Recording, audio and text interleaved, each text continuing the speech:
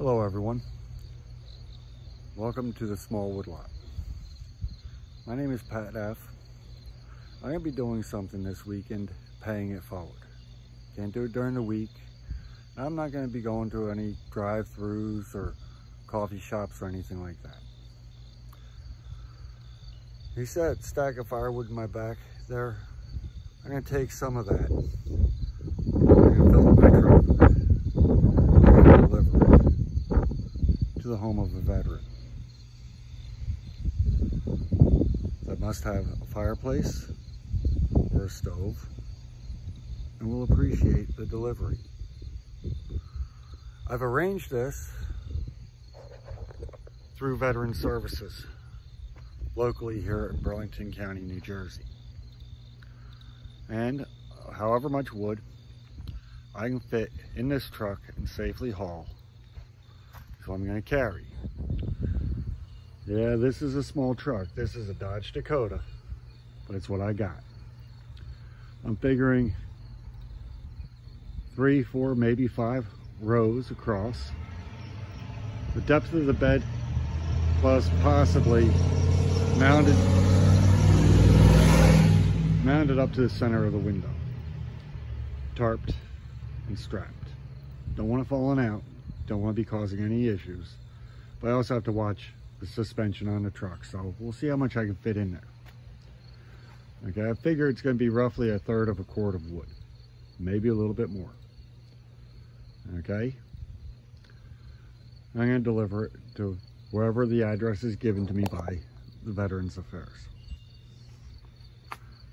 I'm saying thank you to, to the veterans who have served alongside me or prior to me or after me. Okay? That's my thing. This firewood lot is not a business this firewood lot is what I use to heat my home. And I'm sharing that with somebody. I'm paying it forward. So with that, I am going to call out um, few of my friends on YouTube. Homestead J, I'm knocking on your door again. I'm also going to knock on the door of the Tin Man for Tinman saws. I'm going to knock on the door of another man too. I'm going to knock on the door of Bellhopper. All these are great men. And I know that they will find a way to pay it forward. They will pay it forward to all and have a great day. So later on, possibly this weekend, you'll see my son and I loading this wood up in the back of my truck and making a delivery. That'll be a separate video. You'll also be first ones in counting of it to see how much I fit in the back of that truck. Okay? Whether they want it stacked or piled is up to them. I'm willing to drop it off to wherever they want.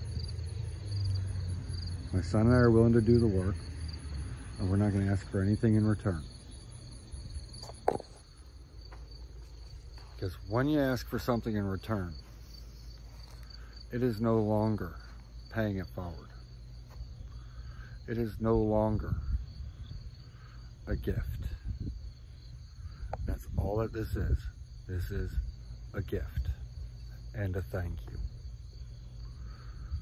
So please, keep it kind.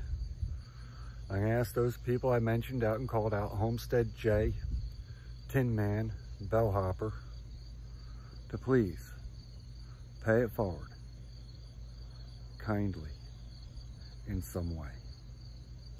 Have a great day, everybody. Keep it kind, keep it friendly, and have a good one. I'm out of here.